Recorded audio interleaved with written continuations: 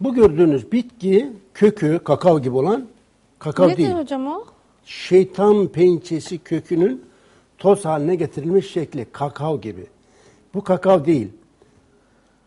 Tadı kakaoya benzer. Görünümü kakaoya benzer ama Bakabilir kakao miyim değil. hocam? E, bakabilirsiniz. Buyurun bakın. Bakın. Toz gibi. Ya öğütülmüş hali. Şimdi bu şu bitkinin kökü, şeytan pençesi, şu çiçeği. Bunun yerin iki metre altında yumru gibi kökleri var. Patates yumrusu gibi.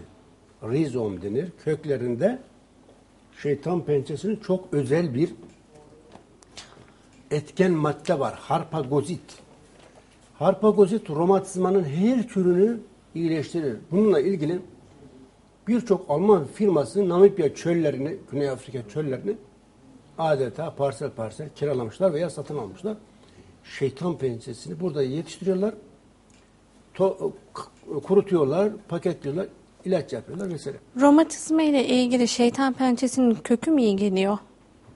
Ha, şeytan pençesi kökü iyi gelir de kökünün birleşimindeki etken madde yüzde iki buçuk. Bunun damıtılarak veya destilasyonla ekstraktı elde edilir. Bitki özütü. Etken maddesi kullanılırsa yani arpagozit yüzde yüz etkilidir. Şimdi şeytan pençesinin kökü kullanılırsa o da etkili ama süreç uzar, zaman alır. Kısa yoldan tedavi olabilmek için ne gerekir? bitkinin damıtılarak elde edilen özütünden çok özel bir formül geliştirdik biz. Şeytan pençesi. Bunun birleşiminde ısırgan otu ekstraktı, şeytan kökü ekstraktı, at kuyruğu otu ekstraktı, ayrı kökü ekstraktı gibi 19 bitki var. 19. Neden 19 hocam? Bismillahirrahmanirrahim kelimesi de 19 olduğu için bizde bütün ürünler 19. 19 harften, 19 üründen oluşur. Peki Bazıları nanogram, bazıları gram olarak değişir oranı. sadece e, kapsül mü veriyoruz? Eğer ki romatizmanın haricinde herhangi bir rahatsızlığı yoksa şeytan pençesi, kökü, ısırgan otu, at kuyruğu otu gibi bitkilerin ekstraklarından ama otundan değil. Türkiye'de bir yanlış yapılıyor. Ne yapılıyor? Vatandaş alıyor otu, öğütüyor kökünü, yaprağını, çiçeğini. Değirmende toz haline getiriyor, paketliyor.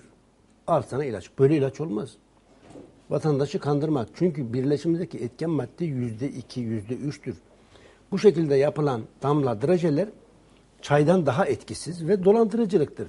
Türkiye'de bu tür bitkisel gıda takviyesi üreten firmalar da maalesef 98'i böyle yapıyor. Ne yapıyor? Yanlış yapıyor. Bu nedenle ekstrakt yapılmazsa Bitkinin ekstratı kullanılması gerekiyor. evet etkisi sıfıra yakındır. Peki hocam sanırım sevgili seyircilerimiz de yanıt almışlardır romatizma rahatsızlığı ile ilgili.